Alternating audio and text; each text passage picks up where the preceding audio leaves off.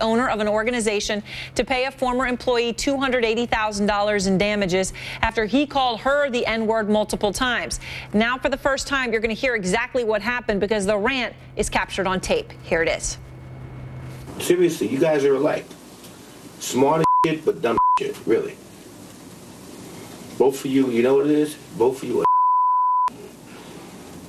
and, you, do, and I'm not saying, and I'm not saying using the term derogatory because sometimes it's good to know when to act like a but y'all act like this all the time. I'm really offended by that. I don't think that I do. You could be offended, but it's true, true. The jury also rejected the defense's argument that using the N word was culturally acceptable in this case because both the woman who was called it and the man who called her it are both black. Now, the N word and when, if ever, it's appropriate to use is a topic, of course, we've talked extensively about on this program. Out front tonight, legal analyst Sunny Hostin and Columbia University professor Marc Lamont Hill. Okay, great to have you both with us. Marc, Brandi Johnson was the plaintiff, the, the yeah. woman that you hear there saying, I find this offensive. She explained to CNN earlier today why she brought this case against her former boss. Here's Brandi. He called me um, the N word eight times. And I protested, you know. I said, I don't appreciate it. You know, I'm offended that you're calling me such. It, it, it, was a hurtful experience for me. It was extremely hurtful. I was extremely offended. Jury obviously sided with her that it was inappropriate, $280,000 in yeah. damages that she's going to get. Um, is this the right outcome? You know, it's tough. And, and, hearing it, I have a slightly different opinion than when I just read it, right? There's a mm-hmm. different texture and context. Language is always about context. Right. Clearly, the boss was, was inappropriate. Clearly, the language was offensive mm -hmm. and abusive. But I do think that it doesn't rise to the level of discriminatory. I don't think that's what the boss was doing. And on the tape, when she said, I'm offended, she didn't say, I'm offended that you called me the N word. She said, I'm offended because I am not that. He was saying using the N word. But she was actually disputing that right. she was acting that way exactly. as opposed to it itself right. being. So I don't think she read it as a racial as a racial epithet. I think she was reading it as a descriptor of something that is bad and lazy and inappropriate. Again, there's racism yeah. underneath that, but I'm saying I don't think that that's exactly what he intended. Right. And now, now let me ask you, Sunny, because um, the employment I'm floored.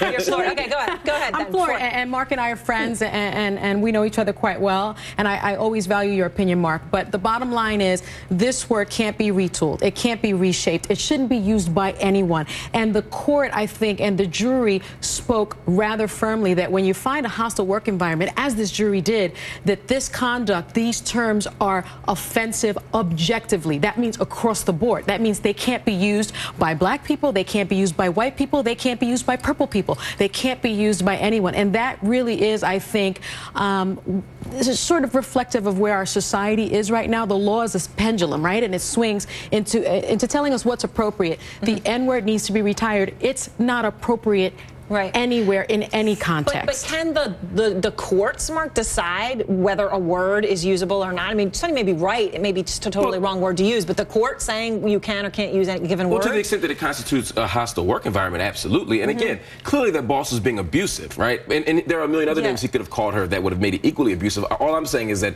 his use of it is not the, is not what they had in mind when they came up with this. In other words, if right. a white boss had said this to her, I think there would have been a different thing underneath oh, it. well, this it would have, would have been, been not even been an entirely different conversation is it different? Well, because I think context does matter. I mean, the N word is used in different ways it's in a, different places. And, and, it shouldn't be, though. It's a racial epithet. It's hate speech. It's hateful language. But is it okay, Marc, it if it's used? It always is. So yes, it always is. Actually, There's a bright line there. You actually think that it's always hate speech? Absolutely. When, when, when people in everyday conversation say, hey, you're my N, and they use the N word, you actually think they're engaging in hate speech? Absolutely. Well, see, and I guess that's, I find that, that floors me. I, we're both on the floor now because for me, context always matters. So you think there are times where it's okay? Yeah, I mean, it, if both people using the word choice. or receiving the word are black, to use the word. Absolutely. Absolutely. And it's not just because they're black. I'm saying context matters. The meaning underneath the word does matter. Right. I think we need to set objective standards in places like work. I think we should have a rule at jobs that you just shouldn't use the N word. I'm fine with that. Right. But I don't think it rises to the level of discrimination. That's what I'm saying. And I don't think she thought so either. I think she got that on tape and realized that she could make some money because there are a bunch of people in the world who would like to believe that black and white are opposite sides of the same coin. And they would love to say that black people can't use the N word. And she seized on that and got well, a nice. You can't have one set of rules for one racial uh, group and, and you can't have another set of rules for another racial group when it comes to using a racial epithet. It's objectively offensive, and I'm very, very happy that the jury spoke loudly and clearly and disagreed uh, with you, oh, my friend jury. Marc. Well, she got $280,000. Now, I want to just make sure we read here, of course, what the defense said in terms of that, what they're going to do about this. Diane Krebs, the attorney, released this statement. We're disappointed by the verdict as we don't believe it comports with the full facts applicable to the case. Nevertheless, we respect the jury's decision and the judicial process. We are exploring all our options moving forward, including appeal, and look forward to the judicial process taking its entire course. Obviously, It's it looks like there, there, there will be an appeal, but we'll see. See, I think this will be precedent, actually. I think so too, and I think do. it's a dangerous one. I think it. Da- I, I, I literally think they are ruling away social context in an entire history in America that matters. And, and a hateful history at that. Absolutely, it's a hateful history, and I think it's not going to be erased if we do it if we handle it like this. All right. Well, I like it. I like it when they can so ardently disagree, but yet so politely. Right. No Because N words or anything. buddies, right? No N words used. All right, thanks, guys. Still to come, the IRS continuing to face questions about the possible targeting of political groups. New evidence tonight. A very special out front investigation. The truth about the IRS is next.